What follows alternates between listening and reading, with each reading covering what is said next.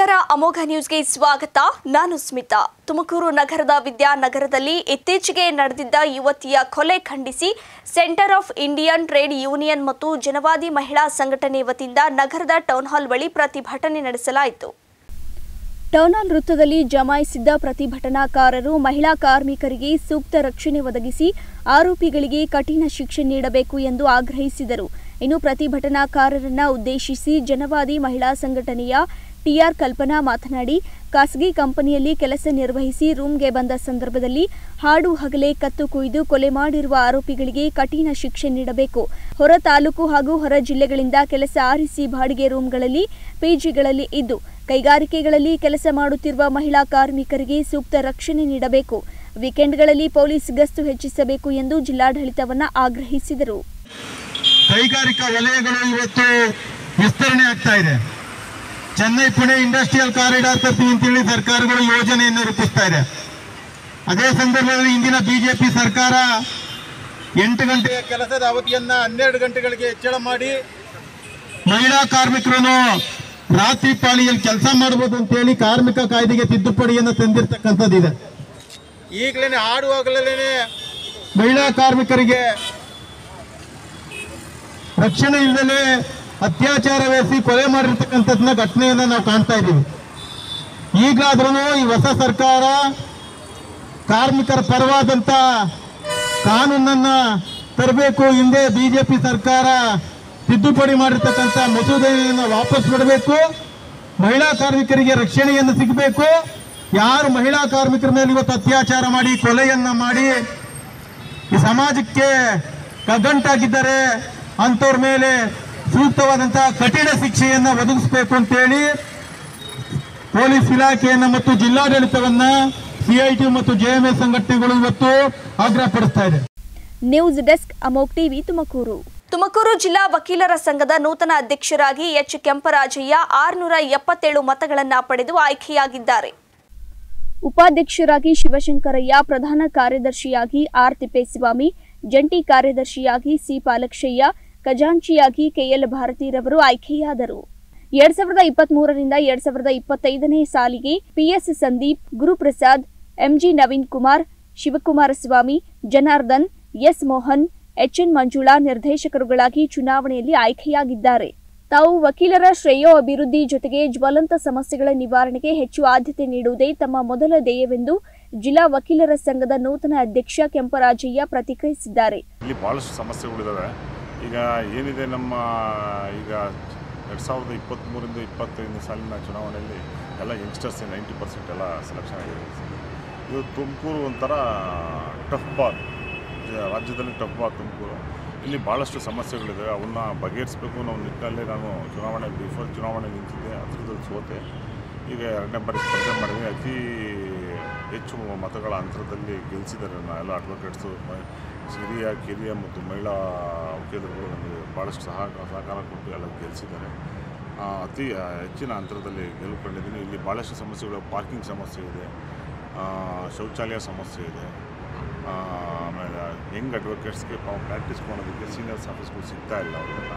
ಭಾಳಷ್ಟು ಸಮಸ್ಯೆಗಳಿಂದ ಅವನ್ನೆಲ್ಲ ಸಮಸ್ಯೆಗಳನ್ನ ಬಗೆಹರಿಸಬೇಕು ಅನ್ನೋ ನಿಟ್ಟಿನಲ್ಲಿ ಒಳ್ಳೆ ಯಂಗ್ ಅಡ್ವೊಕೇಟ್ಸ್ ಎಲ್ಲ ಸೆಲೆಕ್ಟ್ ಆಗಿದ್ದಾರೆ.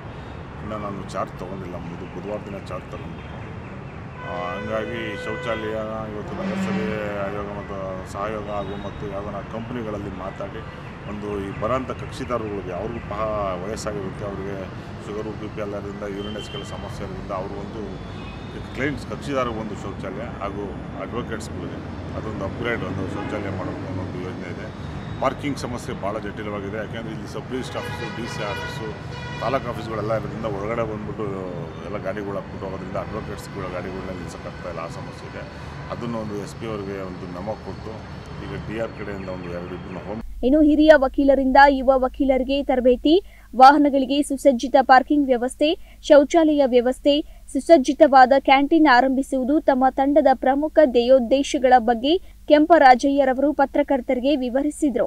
ತಿಪ್ಪೇಸ್ವಾಮಿ ಅಂತ ತುಮಕೂರು ವಕೀಲರ ಸಂಘದಲ್ಲಿ ಈಗ ಕಳೆದ ಕಾರ್ಯಕಾರಿಣಿ ಮಂಡಳಿ ಚುನಾವಣೆಯಲ್ಲಿ ಪ್ರಧಾನ ಕಾರ್ಯದರ್ಶಿಯಾಗಿ ಆಯ್ಕೆಯಾಗಿದ್ದೀನಿ. ಹಿಂದೆ ನಾನು ಎರಡು ಸಾವಿರದ ಹದಿನಾರು, ಹದಿನೆಂಟನೇ ಸಾಲಿನಲ್ಲಿ ಖಜಾಂಚಿಯಾಗಿಯೂ ನಾನು ಕೆಲಸ ಮಾಡಿದ್ದೀನಿ. ಸಾಕಷ್ಟು ಇಲ್ಲಿ ಹಿಂದೆ ಎಲ್ಲ ನಾನು ತುಂಬ ಕೆಲಸ ಮಾಡಿ, ಸಾಕಷ್ಟು ಅಭಿವೃದ್ಧಿ ಕೆಲಸಗಳನ್ನ ಆಮೇಲೆ ಖಜಾಂಚಿಯಾಗಿ ಲೆಕ್ಕಪತ್ರದಲ್ಲಿ ಸಾಕಷ್ಟು ಅನುಭವನೂ ನಾನು ಪಡೆದಿದ್ದೀನಿ. ಲಾಸ್ಟ್ ಟೈಮು ಕೆಲವೊಂದು ಪ್ರಧಾನ ಕಾರ್ಯದರ್ಶಿ ಸ್ಥಾನಕ್ಕೆ ಸ್ಪರ್ಧಿಸಿ ಕೆಲವೊಂದು ಅಂತರದಿಂದ ನಾನು ಸೋಲು ಅನುಭವಿಸಿ. ಕ್ಯಾಮರಾಮನ್ ಅಂಜನ್ ಜೊತೆ ಮಾರುತಿ ಪ್ರಸಾದ್ ಅಮೋಕ್ ಟಿವಿ ತುಮಕೂರು. ಸಮರ್ಪಕ ಬಸ್ ವ್ಯವಸ್ಥೆ ಕಲ್ಪಿಸುವಂತೆ ಒತ್ತಾಯಿಸಿ ಗುಂಡ್ಲುಪೇಟೆ ತಾಲೂಕಿನ ಅಣ್ಣೂರು ಕೆರೆ ಗ್ರಾಮದ ವಿದ್ಯಾರ್ಥಿಗಳಿಂದ ಪ್ರತಿಭಟನೆ ನಡೆಯಿತು ಗ್ರಾಮದಿಂದ ಪಟ್ಟಣಕ್ಕೆ ತೆರಳುವ ನೂರಕ್ಕೂ ಹೆಚ್ಚು ವಿದ್ಯಾರ್ಥಿಗಳಿಗೆ ತೆರಳಲು ಅಣ್ಣೂರು ಕೆರೆಯಲ್ಲಿ ಬಸ್ಗಳನ್ನು ನಿಲ್ಲಿಸುವುದಿಲ್ಲ ಎಂದು ಆರೋಪಿಸಿ ಬಸ್ ತಡೆದು ಅಣ್ಣೂರು ಕೆರೆ ಗ್ರಾಮದ ವಿದ್ಯಾರ್ಥಿಗಳು ಪ್ರತಿಭಟನೆ ನಡೆಸಿದರು. ಕೆಎಸ್ಆರ್ಟಿಸಿ ಡಿಪೋ ಮ್ಯಾನೇಜರ್ ಸ್ಥಳಕ್ಕೆ ಬರುವಂತೆ ಪಟ್ಟು ಹಿಡಿದು ವಿದ್ಯಾರ್ಥಿಗಳು ಪ್ರತಿಭಟನೆ ನಡೆಸಿದ್ದು, ಹೆಚ್ಚುವರಿ ಬಸ್ ವ್ಯವಸ್ಥೆ ಕಲ್ಪಿಸಲು ವಿದ್ಯಾರ್ಥಿಗಳು ಆಗ್ರಹಿಸಿದ್ದಾರೆ.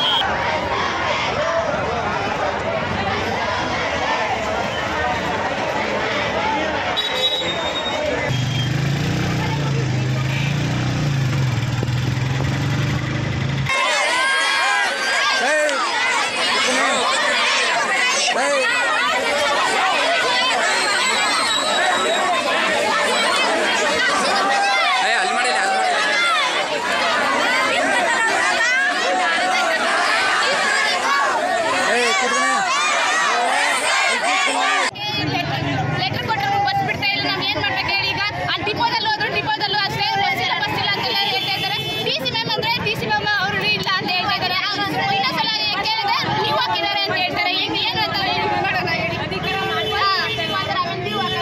ಬಸ್ ಸರಿ ನಾವೇನ ಈಗ ಎಲ್ಲರೂ ಆ, ಈ ಎಲ್ಲ ಪೊಲೀಸರು ಬಂದಿದ್ರು ಅವರು ಬಂದಿದ್ರು ಏನಂತ ಹೇಳಿದ್ರೆ ಲೆಟರ್ ಕೊಟ್ಟಿಲ್ಲ ಲೆಟರ್ ಕೊಟ್ಟಿಲ್ಲ ಅಂತ ಹೇಳ್ತಾ ಇದ್ದಾರೆ ಈಗ ಜಿ- ಜವಾಬ್ದಾರಿಗಳನ್ನೆಲ್ಲ ಒತ್ಕೊಳ್ಳಿ ಅಂತ ಹೇಳ್ತಾ ಇದ್ದಾರೆ ನೀವು ಒತ್ಕೊತೀರಾ ಅಂತ ಈಗ ನೀವುಗಳು ಯಾರು ಹೇಳ್ಬೇಕಂದ್ರೆ ನಾವೆಲ್ಲ ದಾರಿ ಬಿಡ್ತೀವಿ ಫಸ್ಟ್ ನೀವು ಲೆಟರ್ ಕೊಟ್ಟು ನಿಮ್ಮ ಸೈನ್ಗಳನ್ನೆಲ್ಲ ಹಾಕಿ ಕೊಡ್ಬೇಕು ನಮಗೆ ವಿದ್ಯುತ್ ಬಿಲ್ ಹೆಚ್ಚಿಗೆ ಮಾಡಿರುವುದನ್ನ ತಕ್ಷಣ ರದ್ದುಗೊಳಿಸಿ ವಿದ್ಯುತ್ ಮಗ್ಗಗಳಿಗೆ ಮೊದಲಿನ ಹಾಗೆ ಹತ್ತು ಎಚ್ಪಿವರೆಗೂ ಉಚಿತ ವಿದ್ಯುತ್ ನೀಡುವಂತೆ ಆಗ್ರಹಿಸಿ. ಬೆಳಗಾವಿ ಜಿಲ್ಲೆಯ ರಾಮದುರ್ಗ ತಾಲೂಕಿನಲ್ಲಿ ತಾಲೂಕು ನೇಕಾರರ ವೇದಿಕೆ ವತಿಯಿಂದ ಮಿನಿ ವಿಧಾನಸೌಧದ ಮುಂದೆ ಪ್ರತಿಭಟನೆ ನಡೆಸಿದರು. ಜೂನ್ ತಿಂಗಳಿನಿಂದ ವಿದ್ಯುತ್ ಮಗ್ಗದ ತ್ರೀ ಫೇಸ್ ಲೈನ್ ಹಾಗೂ ಮನೆಗಳ ವಿದ್ಯುತ್ ಬಿಲ್ ಅನ್ನ ಮೂರು ಪಟ್ಟು ಹೆಚ್ಚಿಗೆ ಮಾಡಲಾಗಿದೆ. ಇದರಿಂದ ವಿದ್ಯುತ್ ಮಗ್ಗಗಳನ್ನೇ ಅವಲಂಬಿತ ರಾಜ್ಯದ ಲಕ್ಷಾಂತರ ನೇಕಾರರ ಮೇಲೆ ಬರೆ ಎಳೆದಂತಾಗಿದೆ. ಲಾಕ್ಡೌನ್ ನಂತರ ನೇಕಾರರ ಉದ್ಯಮ ನಷ್ಟದ ಹಾದಿ ಹಿಡಿದಿದ್ದು, ಕಚ್ಚಾ ಸಾಮಗ್ರಿಗಳ ಬೆಲೆ ಹೆಚ್ಚಳದಿಂದ ನೇಕಾರರಿಗೆ ಮುಚ್ಚುವ ಸ್ಥಿತಿಗೆ ಬಂದು ತಲುಪಿದೆ. ಆದ್ದರಿಂದ ವಿದ್ಯುತ್ ಬಿಲ್ ಅನ್ನ ಹೆಚ್ಚಳ ಮಾಡಿರುವುದನ್ನ ತಕ್ಷಣಕ್ಕೆ ವಾಪಸ್ ಪಡೆದು ಮೊದಲಿನ ಸ್ಥಿತಿಯನ್ನ ಕಾಯ್ದುಕೊಳ್ಳಬೇಕು ಎಂದು ಆಗ್ರಹಿಸಿ ಕರ್ನಾಟಕ ಸರ್ಕಾರದ ಮುಖ್ಯಮಂತ್ರಿಗಳಾದ ಸಿದ್ದರಾಮಯ್ಯರವರಿಗೆ ರಾಮದುರ್ಗ ತಹಶೀಲ್ದಾರ್ ಮೂಲಕ ಮನವಿ ಸಲ್ಲಿಸಲಾಯಿತು. News desk Amok TV, Ramdurg.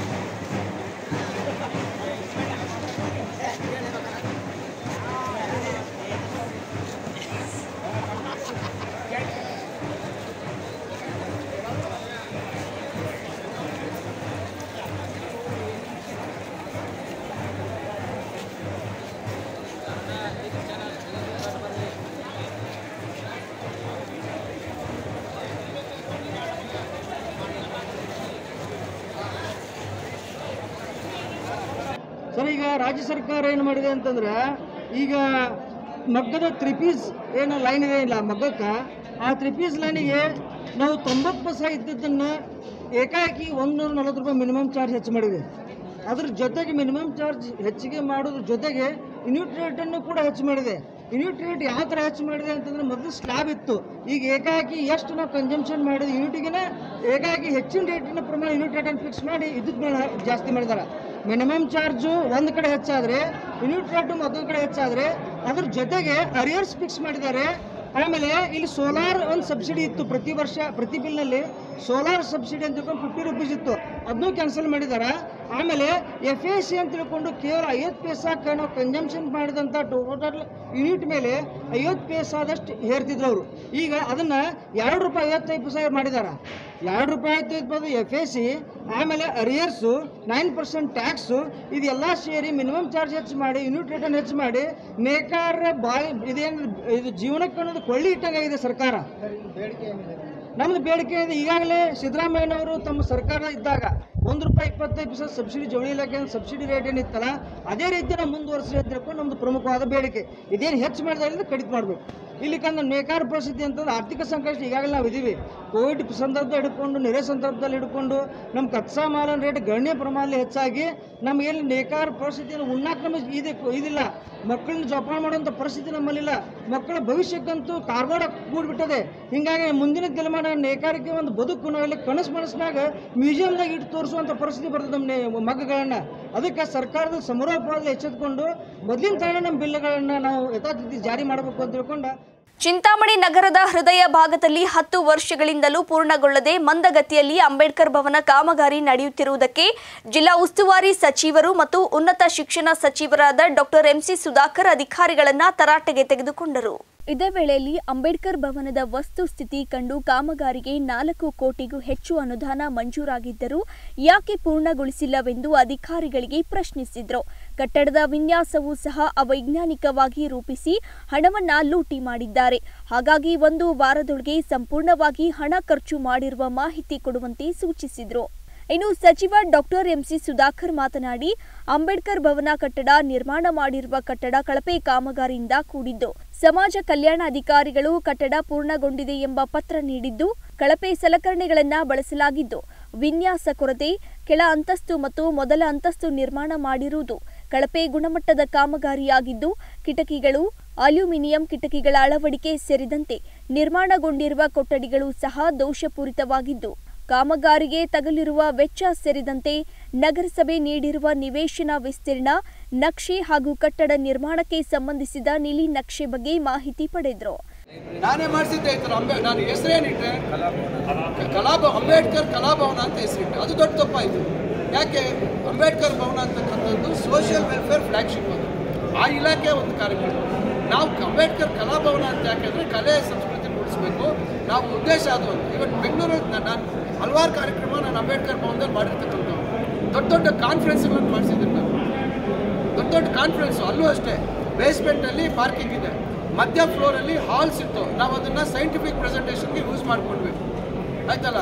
ಮೇಲ್ಗಡೆ ಹಾಲ್ ದೊಡ್ಡ ಆಡಿಟೋರಿಯಂ ಸಾವಿರದ ಇನ್ನೂರು ಜನ ಕೂತ್ಕೊಳ್ಳುವಂಥ ಆಡಿಟೋರಿಯಂ ಅದು. ಬಾಲ್ಕನಿ ಒಂದು ಸುಮಾರು ಮುನ್ನೂರು ಚಿಲ್ಲರೆ ಕೆಳಗಡೆ ಎಂಟುನೂರು ಚಿಲ್ಲರೆ ಎಂಟು ಒಟ್ಟು ಸಾವಿರದ ಇನ್ನೂರು ಜನ ಜಾಗ ಅದು. ನಾನು ನಮ್ಮ ಡೆಂಟಲ್ದು ದೊಡ್ಡ ದೊಡ್ಡ ಪ್ರೋಗ್ರಾಮ್ ಅಲ್ಲಿ ಮಾಡಿಸಿದ್ದೀನಿ ನಾನು. ಅವು ಆ ಕಾಲದಲ್ಲೇ.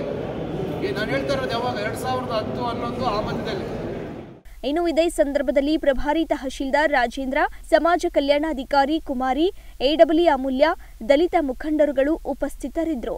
ವೆಂಕಟ ಚಲಪತಿ, ಅಮೋಕ್ ಟಿವಿ, ಚಿಂತಾಮಣಿ. ಚಿಂತಾಮಣಿ ಜಿಲ್ಲಾಡಳಿತ, ಜಿಲ್ಲಾ ಪಂಚಾಯತ್ ಮತ್ತು ಕರ್ನಾಟಕ ರಾಜ್ಯ ರಸ್ತೆ ಸಾರಿಗೆ ನಿಗಮ ಚಿಂತಾಮಣಿ ವಿಭಾಗದ ಇವರ ಸಂಯುಕ್ತ ಆಶ್ರಯದಲ್ಲಿ ನಗರದ ಕೆಎಸ್ಆರ್ಟಿಸಿ ಬಸ್ ನಿಲ್ದಾಣದಲ್ಲಿ ಸಚಿವ ಸುಧಾಕರ್ ನೇತೃತ್ವದಲ್ಲಿ ಶಕ್ತಿ ಯೋಜನೆಯ ಉದ್ಘಾಟನೆ ನೆರವೇರಿಸಿದರು. ಈ ವೇಳೆ ಮಾತನಾಡಿದ ಸಚಿವ ಡಾಕ್ಟರ್ ಎಂಸಿ ಸುಧಾಕರ್ ಸ್ವಾತಂತ್ರ್ಯದ ನಂತರ ದಿನಗಳಲ್ಲಿ ಸರ್ಕಾರ ಹಲವಾರು ಮಹಿಳಾ ಸಬಲೀಕರಣ ಯೋಜನೆಗಳನ್ನು ಜಾರಿಗೆ ತಂದಿದೆ. ಆ ನಿಟ್ಟಿನಲ್ಲಿ ನಮ್ಮ ನೂತನ ಸರ್ಕಾರ ಮಹಿಳೆಯರಿಗೆ ಸರ್ಕಾರಿ ಸಾರಿಗೆ ಬಸ್ಗಳಲ್ಲಿ ಉಚಿತವಾಗಿ ಪ್ರಯಾಣಿಸುವ ಶಕ್ತಿ ಯೋಜನೆಯನ್ನು ಇಂದಿನಿಂದ ಜಾರಿಗೆ ತಂದಿದೆ. ಪ್ರತಿನಿತ್ಯ ರಾಜ್ಯದ ನಲವತ್ತೊಂದು ಪಾಯಿಂಟ್ ಎಂಬತ್ತೊಂದು ಲಕ್ಷ ಪ್ರಯಾಣಿಕರು ಈ ಯೋಜನೆಯ ಸೌಲಭ್ಯ ಪಡೆಯಲಿದ್ದಾರೆ. ರಾಜ್ಯದ ಎಲ್ಲಾ ಮಹಿಳೆಯರಿಗೆ ರಾಜ್ಯದೊಳಗಿನ ಪ್ರಯಾಣಕ್ಕೆ ಮಾತ್ರ ಇದು ಅನ್ವಯ ಆಗಲಿದೆ.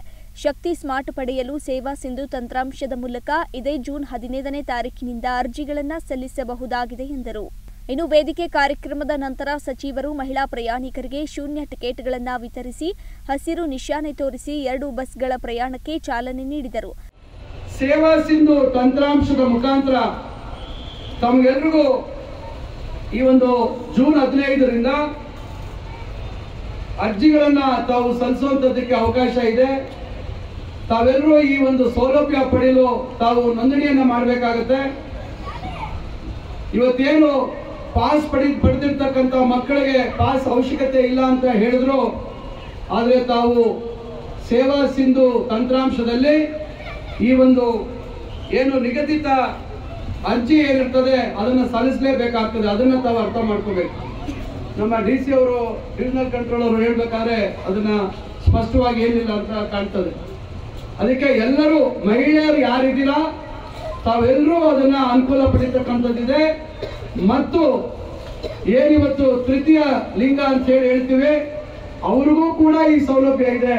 ಇದನ್ನ ಬಹುಶಃ ಹಾಗೆ ಹೇಳ್ತಕ್ಕಂಥ ಸಂದರ್ಭದಲ್ಲಿ ಹೇಳಿಲ್ಲ. ಅವ್ರಿಗೂ ಅವಕಾಶ ಇದೆ, ಅವರು ಈ ಸೌಲಭ್ಯ ಪಡಿಬೋದು. ಇನ್ನು ಉಳಿದಾಗೆ, ಈ ಒಂದು ತಂತ್ರಾಂಶದಲ್ಲಿ ತಾವು ಅರ್ಜಿ ಸಲ್ಲಿಸಿದಾಗ ನಿಮಗೆ ಶಕ್ತಿ ಸ್ಮಾರ್ಟ್ ಕಾರ್ಡ್ ಅಂತಕ್ಕಂಥ ಒಂದು ಕಾರ್ಡ್ ಕೊಡ್ತಾರೆ. ಅಷ್ಟರ ತನಕ ತಮಗೆ ಕೇಂದ್ರ ಸರ್ಕಾರ, ರಾಜ್ಯ ಸರ್ಕಾರ ಹಾಗೂ ಇತರೆ ಹಾಗೂ ಮಹಿಳಾ ಪ್ರಯಾಣಿಕರೊಂದಿಗೆ ಸಚಿವರು ಚಿಕ್ಕಬಳ್ಳಾಪುರ ನಗರದಿಂದ ಚಿಂತಾಮಣಿ ನಗರದವರೆಗೆ ಪ್ರಯಾಣ ಬೆಳೆಸಿದರು. ಇನ್ನು ಇದೇ ಸಂದರ್ಭದಲ್ಲಿ ಜಿಲ್ಲಾಧಿಕಾರಿ ಎನ್ಎಂ ನಾಗರಾಜ್, ಜಿಲ್ಲಾ ಪಂಚಾಯತ್ ಮುಖ್ಯ ಕಾರ್ಯನಿರ್ವಹಣಾಧಿಕಾರಿ ಪ್ರಕಾಶ್, ಜಿಟಿ ನಿಠಾಲಿ, ಜಿಲ್ಲಾ ಪೊಲೀಸ್ ವರಿಷ್ಠಾಧಿಕಾರಿ ಡಿಎಲ್ ನಾಗೇಶ್ ಕೆಎಸ್ಆರ್ಟಿಸಿ ವಿಭಾಗೀಯ ನಿಯಂತ್ರಣಾಧಿಕಾರಿ ಹಿಮೋವರ್ಧನ್ ನಾಯ್ಡು, ಸಾವಿರಾರು ಸಾರ್ವಜನಿಕರು ಹಾಜರಿದ್ದರು. ವೆಂಕಟಚಲಪತಿ ಅಮೋಕ್ ಟಿವಿ, ಚಿಂತಾಮಣಿ. ಇದು ಈವರೆಗಿನ ಪ್ರಮುಖ ಸುದ್ದಿಗಳು. ನೋಡ್ತಾ ಇರಿ ಅಮೋಕ್ ಟಿವಿ ಎಂದೆಂದಿಗೂ ನಿಮ್ಮೊಂದಿಗೆ.